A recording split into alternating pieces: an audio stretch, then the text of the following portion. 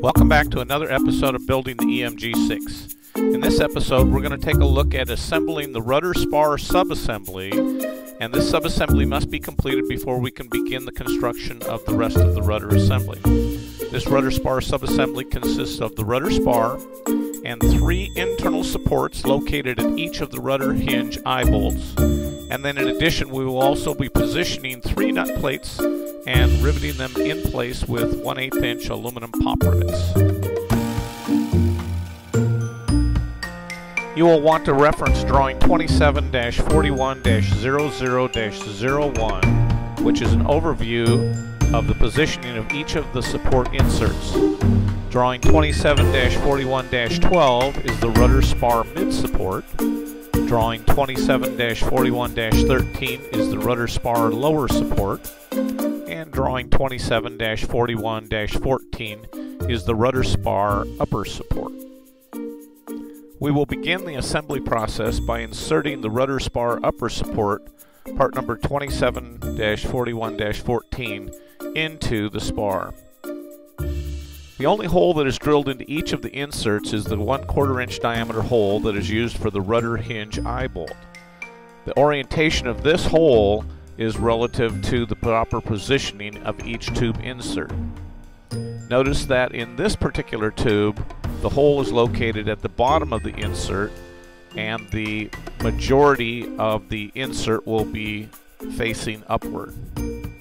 A line should be drawn along the length of the insert with the line aligned with the bolt hole. This will allow us to maintain proper alignment of the insert as we slide the insert down the length of the spar tube. We will need another tube or a stick to slide the insert into its proper position.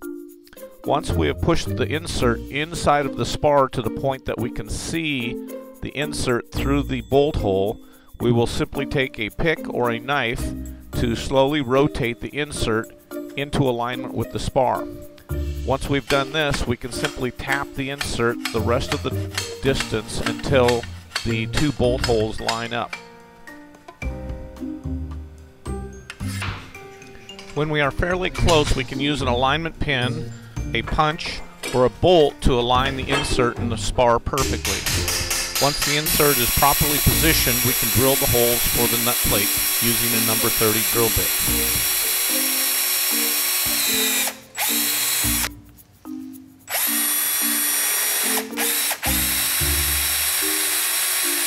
At this point, we can insert a cleco which will hold the insert in place while we remove the alignment pin.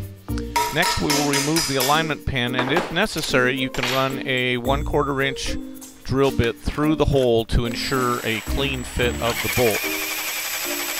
Before we can insert the nut plates though, we'll need to drill the mounting holes on the nut plates using an 8th inch or preferably a number 30 drill bit to enlarge the rivet holes.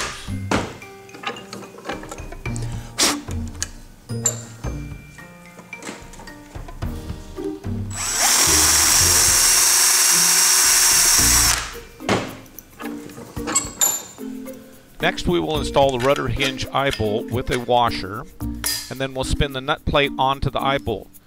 At this point it's not necessary to extend the eye bolt all the way into the nylock region of the nut plate. We'll simply position the nut plate with one cleco in one of the two holes and then using an eighth inch diameter pop rivet secure the nut plate to the spar. Then we'll remove the cleco from the other leg and install a pop rivet in that location as well.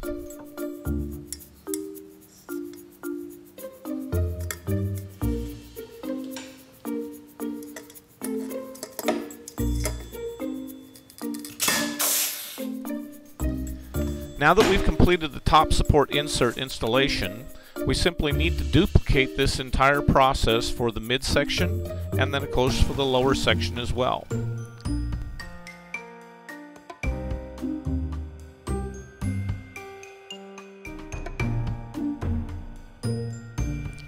Now that the inserts are properly installed and secured with the nut plate we can see that the rib attach locations, which are on the side of the spar on either side, have not had the holes drilled yet. Now is the proper time for you to locate and drill these holes in the spar assembly itself.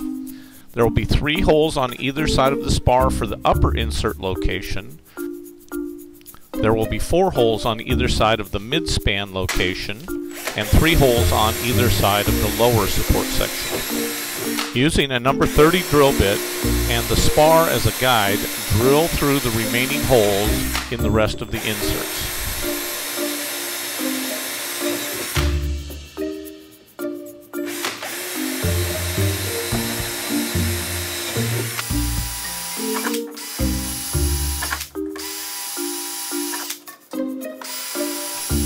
Once we have finished drilling all of the holes through the spar inserts, it would be a good time to look at deburring any of the remaining holes that may need deburring. Any burrs from the drilling may produce scratches on the other components as the construction of the rest of the assembly proceeds. We have now completed the rudder spar subassembly. The average construction time to build this rudder spar subassembly is typically 15 to 30 minutes. In our next video, we will proceed on to continue the construction for the remainder of the rudder assembly. Until then, we want to thank you for watching these videos and remind you to like us on the YouTube channel.